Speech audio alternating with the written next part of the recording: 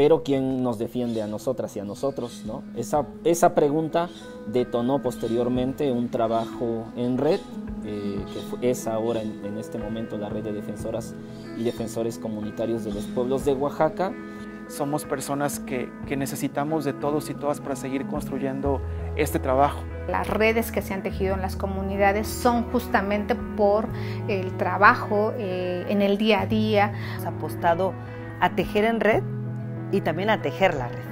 Son por eh, ir encontrándonos en diferentes momentos, en la lucha, pero también en la cocina, en la fiesta. O sea, un trabajo de defensor no puede ser un trabajo aislado alianza de articulación, de acuerpamiento que nos ha dado el propio movimiento de derechos humanos, eh, movimientos de mujeres.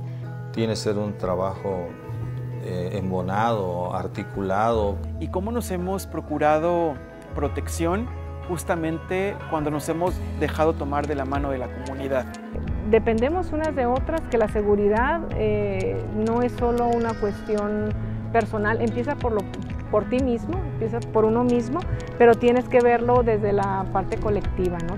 Para analizar la situación, para compartir estrategias de defensa y para compartir estrategias de seguridad principalmente. Para apoyarnos en momentos de crisis, pero también para compartir aprendizajes. Lo que nos queda es, es, seguir luchando juntas y cuidarnos, cuidarnos unas a otras, acompañarnos unas a otras. No competimos, no hay casos emblemáticos y casos no emblemáticos, hay una tragedia nacional que nos convoca.